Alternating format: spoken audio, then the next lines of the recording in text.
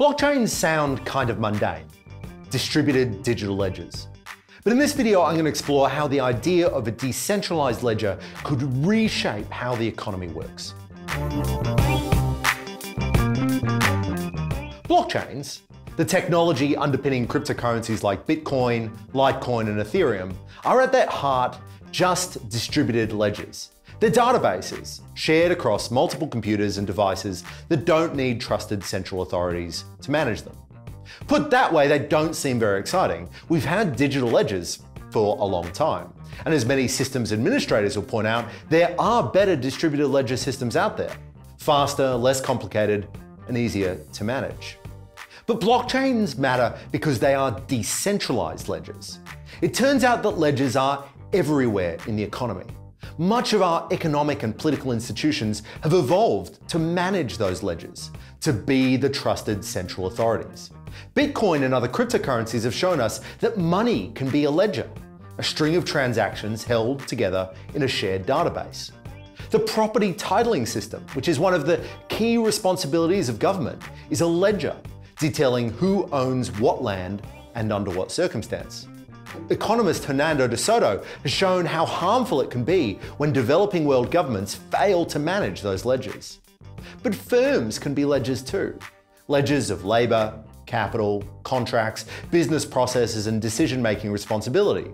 The firm or the company exists to manage that ledger. It's a trusted authority that organises production and output. Even the social security system is a ledger, which details who gets what entitlements and who pays for them. In fact, ledgers are so fundamental to economic and social life that we can look at the history of human activity and see that when the technologies of ledgers change, so does the economy. Writing was first developed in order to manage ledgers. Some of our earliest written documents from ancient Mesopotamia, are lists of who owns what property. Double entry bookkeeping in the 14th century gave us early capitalism and the rise of sophisticated banking and corporations. Digital ledgers in the 20th century gave us global capitalism. And now we have blockchains. So, what does a blockchain economy look like?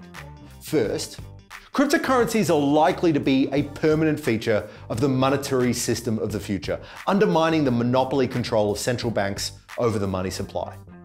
But more significantly, I think, Blockchains take many of those ledgers that we've been managing until now with the institutions of the market, firms, and even governments and decentralize them.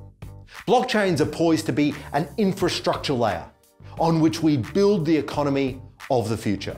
A platform on which we can trade, businesses can be formed, and economic activity organized.